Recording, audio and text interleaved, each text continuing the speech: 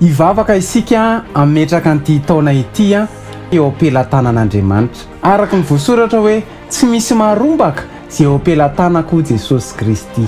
Hivavaka isika tompoko. Jesosy Kristy Tompo ô, apetraka eo am-pelatananao ity taona ity mba hatoky anao hatramin'ny farany izahay. Te hifikitra aminao izay n'inon'inona mitranga. Tsy amin-kery na amin'ny fahatanjahana, fa ny fanahiko irery ihany, hoy Jehovah, Tompon'ny maro. Noho ny fahasoavanao dia hahatratra ny tanjona ary hahatanteraka ny sitraponao. Ao anatin'ny fahasarotana, alahelo, miaraka amiko ianao. Raha mamaky lohasaha, Aloky ny fahafatesana, miaraka amiko ianao. Hanafaka ahy ianao, hanitsaka ny menarana sy ny maingoka, miaraka amiko, toy ny mahery fo ianao. Mamelatra latabatra eo imason'ny fahavaloko ianao, manosotra diloilo ny lohako ianao, ny kapoakako feno dia feno. Miaraka amiko mandrakizay ianao ary hanafaka ahy amin'ny tahotro rehetra. Amen. Tahiana mihoatra tompoko.